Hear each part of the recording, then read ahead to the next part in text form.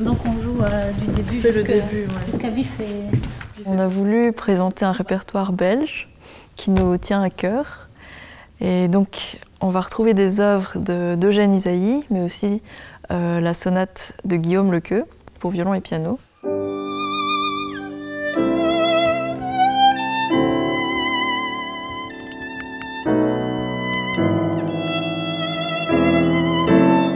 De Lequeux qui est pourtant très connue, ce sera la première version discographique mondiale d'après la version du manuscrit dont on a pu avoir accès à Verviers.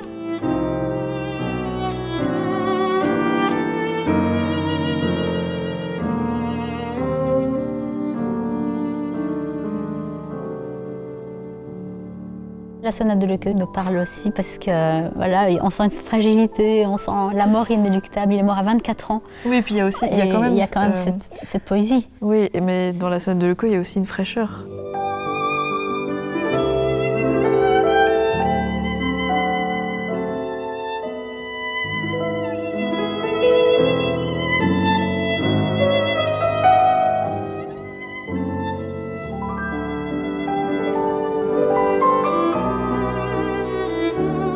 Quelque chose qui m'a frappé avec Eliane, c'est qu'on n'avait pas besoin de beaucoup parler quand on répète. Et j'ai l'impression qu'on ressent les mêmes choses. Et on a énormément de points communs et, et on, on se comprend. Oui, je pense que la force, c'est aussi notre complicité amicale dans la vie. Je pense que voilà, on se connaît maintenant tellement, on est tellement proches et on, on est là l'une pour l'autre et ça se ressent dans la musique. Sylvia est une musicienne tellement sensible et tellement sincère et puis elle, elle pose un, un son sur son violon et moi je vibre.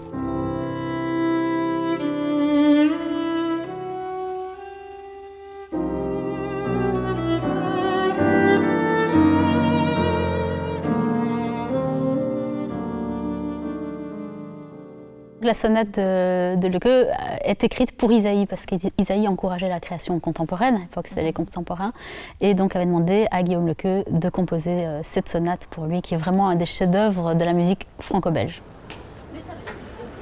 Nous avons été en contact avec Marie Cornaz de la Bibliothèque royale et grâce à elle, on a eu accès à des manuscrits euh, qui n'ont jamais été édités ni enregistrés. Il y a donc une mazurka euh, qu'il a écrite euh, quand il était en Norvège. C'est pour nous très, très émouvant de découvrir cette œuvre vraiment de, de nulle part en fait.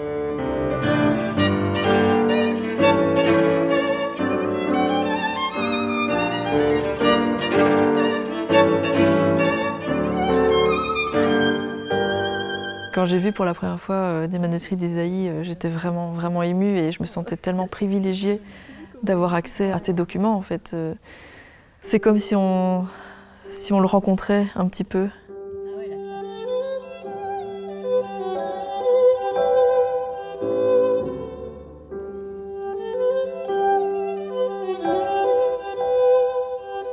Quand il a commencé à écrire, euh, quand il avait 20 ans, c'est plus des pièces de salon en fait. Donc on a, on a enregistré euh, quatre mazurkas, donc des danses, c'est quelque chose d'assez joyeux, beaucoup de caractère.